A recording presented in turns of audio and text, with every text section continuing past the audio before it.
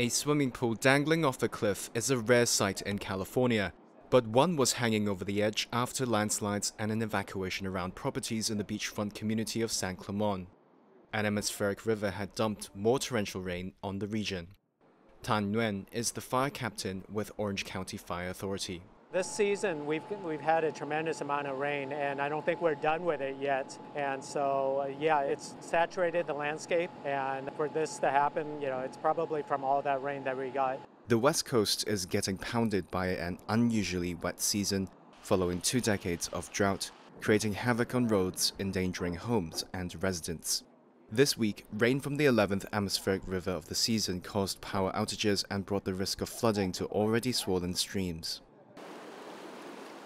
In the city of Porterville, longtime resident Ralph McLaughlin was watching the nearby Tule River rise. We hate to think about leaving and just the flood, you know, and it getting worse and taking everything out. I mean, you know, you know when it floods and goes into buildings like that, you know what can happen.